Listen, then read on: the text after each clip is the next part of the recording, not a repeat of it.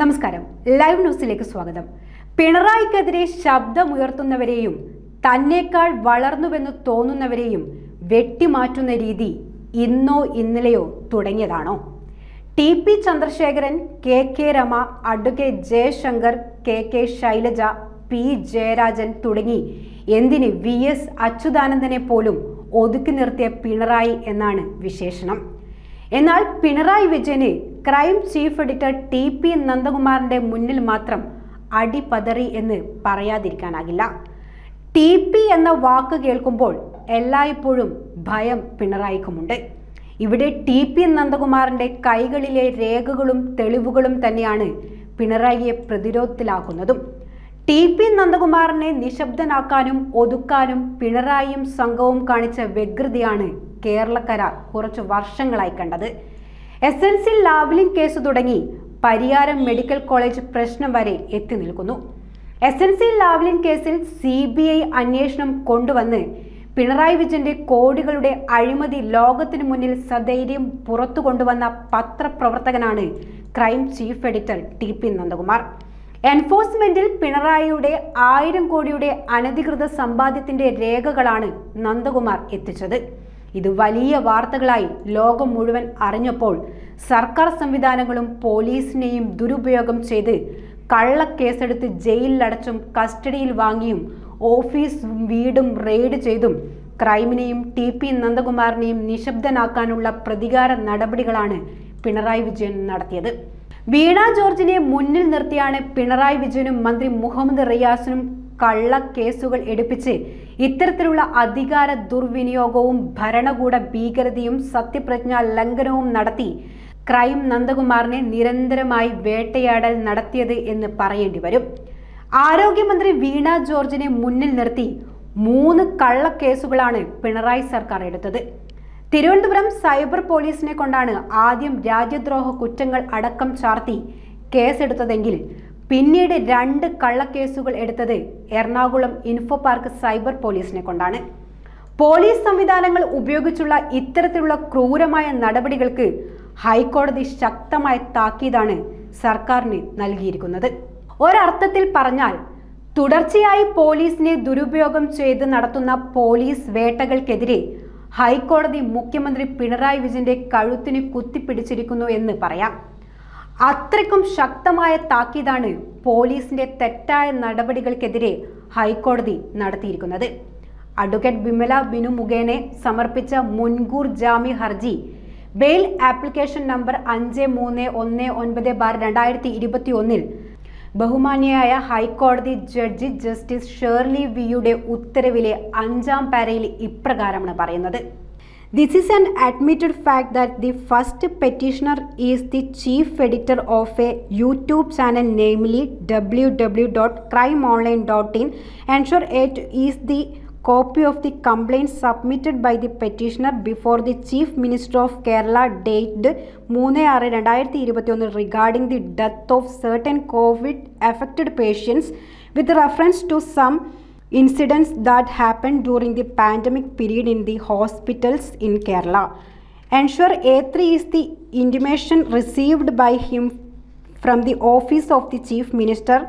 The said reply would reveal that the complaint was received in the office of the Chief Minister and it was forwarded to the Principal Secretary of Health and Family Welfare Department for taking appropriate action പതിനൊന്ന് ആറ് രണ്ടായിരത്തി ഇരുപത്തൊന്ന് this crime has been registered alleging that his intention was to create confusion or fear among the public or make them panic by exploiting the pandemic situation prevailing at that point of time.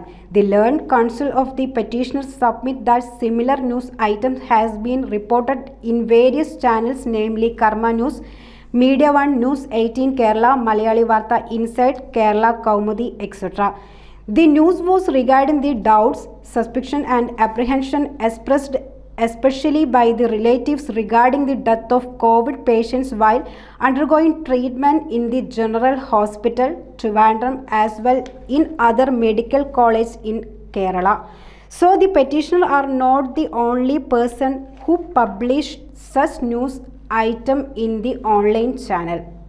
അതായത് ഈ വാർത്ത മിക്ക ചാനലും കൊടുത്തിട്ടുണ്ടെന്നും ഇതിന്റെ സത്യാവസ്ഥ അന്വേഷിക്കണമെന്നും അറിയിച്ച് മുഖ്യമന്ത്രി കടക്കം പരാതി നൽകിയിട്ടുള്ളതാണെന്നുമാണ് ഇതിൽ വിശദീകരിക്കുന്നത്.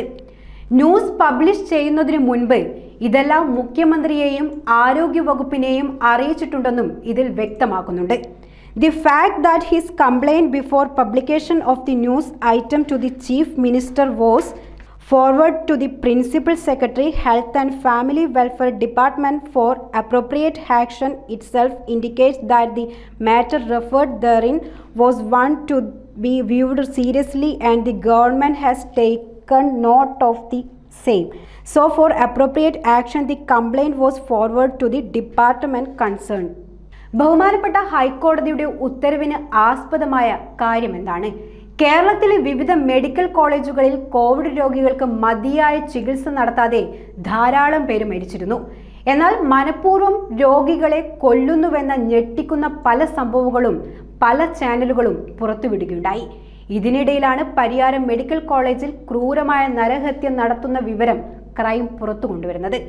കഞ്ഞി പോലുള്ള ദ്രാവകം തുണി കൊണ്ട് മറച്ച ഭാഗത്തേക്ക് രോഗം മൂർജിച്ച രോഗികളെ കൊണ്ടുപോയി ട്യൂബിലൂടെ മൂക്കിലേക്ക് കയറ്റുകയും കുറഞ്ഞ സമയം കൊണ്ട് അവരെ കൊന്നു ബോഡി പാക്ക് ചെയ്യുന്നത് കണ്ട് ഞെട്ടി വിറച്ച മറ്റു രോഗികൾ ഒച്ചപ്പാടുണ്ടാക്കുകയും ചെയ്യുന്ന വിവരമാണ് ക്രൈം പുറത്തുവിട്ടത്. ഈ കാര്യം അറിയിക്കാനായി മന്ത്രി വീണ ജോർജിനെ നേരിട്ട് വിളിച്ചെങ്കിലും അവർ ഫോൺ എടുത്തില്ല എന്നു മാത്രമല്ല അവർക്കയച്ച പരാതി നോക്കാനോ മറുപടി അയക്കാനോ അവർ തയ്യാറായില്ല. ഈ സന്ദർഭത്തിലാണ് മുഖ്യമന്ത്രി പിണറായി വിജയന് പരാതി അയക്കുന്നത്. അദ്ദേഹം സൗഗൗരവം ആ പരാതിയിൽ പ്രിൻസിപ്പൽ സെക്രട്ടറിയെ കൊണ്ട് അന്വേഷണം നടത്താൻ ഉത്തരവിടുകയും ഈ കാര്യം ക്രൈമിന് മറുപടി നൽകുകയും ചെയ്തു. പരാതിയിൽ മൂന്ന് കാര്യങ്ങളാണ് ഉന്നയിക്കുന്നത്. ഒന്ന് പരിയാരം മെഡിക്കൽ കോളേജുകളിലടക്കം കോവിഡ് രോഗികളെ ക്രൂരമായി കൊല്ലുന്നു. രണ്ട് ലക്ഷക്കണക്കിന് രോഗികൾ മരണപ്പെട്ടിട്ടും കോവിഡ് രോഗികളുടെ മരണനിരക്ക് മറച്ചുവെക്കുന്നു. മൂന്ന് കോവിഡ് രോഗികളാക്കി രോഗമില്ലാത്തവരുടെ അവയവങ്ങൾ ചില വൻകിട ഹോസ്പിറ്റലുകൾ തട്ടിയെടുക്കുന്നു. ഈ പരാതി നൽകി മുഖ്യമന്ത്രി അന്വേഷണത്തിന് ഉത്തരവിട്ട സന്ദർഭത്തിലാണ് എൻഫോഴ്സ്മെന്റിൽ പിണറായി വിജയനെതിരെ ആയിരം കോടിയുടെ അനധികൃത സമ്പാദ്യത്തിന്റെ രേഖകളും ലാവിൻ അഴിമതി രേഖകളും ക്രൈം ചീഫ് എഡിറ്റർ രണ്ടായിരത്തി ഇരുപത്തൊന്ന് ജൂലൈ എട്ടിന് സമർപ്പിക്കുന്നത്. രണ്ടായിരത്തി ഇരുപത്തി ഒന്ന് ജൂലൈ ഒൻപതിന് തിരുവനന്തപുരം സൈബർ പോലീസ് പിണറായി വിജയന്റെ നിർദ്ദേശപ്രകാരം ക്രൈമിന്റെ ഓഫീസിൽ റെയ്ഡ് ചെയ്ത് പ്രസ്തുത രേഖകളും ഫയലുകളുമെല്ലാം കടത്തിക്കൊണ്ടുപോയി. പോലീസ് ഭീകരതയ്ക്കെതിരെയും കള്ളക്കേസിൽ കുടുക്കി അറസ്റ്റ് ചെയ്യാനുള്ള നീക്കത്തിനെതിരെയും ഹൈക്കോടതിയിൽ സമർപ്പിച്ച മുൻകൂർ ജാമ്യ ഹർജിയിൽ ശക്തമായ താക്കീതാണ് ഹൈക്കോടതി പിണറായി പോലീസിന് നൽകിയിരിക്കുന്നത്. കസ്റ്റഡിയിൽ ആവശ്യപ്പെട്ടുകൊണ്ടുള്ള ഹർജിയും തള്ളിക്കൊണ്ട് ബഹുമാനപ്പെട്ട ഹൈക്കോടതി പ്രധാനമായ ചോദ്യമാണ് ഉയർത്തിയത്. ഒന്ന് മുഖ്യമന്ത്രിക്ക് ക്രൈം ചീഫ് എഡിറ്റർ പരാതി നൽകുകയും അതിന്മേൽ മുഖ്യമന്ത്രി നടപടിയെടുക്കാൻ ഉത്തരവിടുകയും ചെയ്ത കാര്യത്തിൽ ക്രൈം ചീഫ് എഡിറ്റർക്കെതിരെ എന്തിനാണ് കേസെടുത്തിരിക്കുന്നത്? രണ്ട് Asianet media one news eighteen Karma news Malayali Vartha Kerala Kaumudi തുടങ്ങിയ ചാനലുകളിൽ സമാനമായ വാർത്ത യൂട്യൂബ് ചാനലിൽ വന്നിട്ടുണ്ട്. പിന്നെ എന്തുകൊണ്ട് crime chief editor T P നന്ദകുമാറിനെതിരെ മാത്രം കേസെടുക്കുന്നു? അതായത് ബഹുമാനപ്പെട്ട ഹൈക്കോടതി പറയാതെ പറഞ്ഞിരിക്കുകയാണ്. പിണറായി സർക്കാർ ക്രൈം ചീഫ് എഡിറ്റർക്കെതിരെ പ്രതികാരം തീർക്കുകയാണ് വേട്ടയാടുകയാണെന്ന്. അതിരുവിട്ടു പൗരന്റെയും പത്രപ്രവർത്തകരുടെയും മേൽ കുതിര കയറുമ്പോൾ അധികാര ദുർവിനിയോഗം നടത്തുമ്പോൾ ബഹുമാനപ്പെട്ട ഹൈക്കോടതി ഉണർന്നു പ്രവർത്തിച്ചിരുന്നു. ശക്തമായ താക്കീത് നൽകിയിരിക്കുന്നു. അതേ കോടതിയോട് നീതിന്യായ വ്യവസ്ഥയോട് നമ്മുടെ ബഹുമാനം വർദ്ധിക്കുന്നു. നമ്മുടെ അവസാനത്തെ അത്താണിയാണ് കോടതി. നീതി നടപ്പാക്കുന്ന കോടതി ടി പി നന്ദകുമാറിനെയും കൈവിടില്ല എന്ന പ്രതീക്ഷയിലാണ് മുന്നോട്ടു പോകുന്നതും. നമസ്കാരം.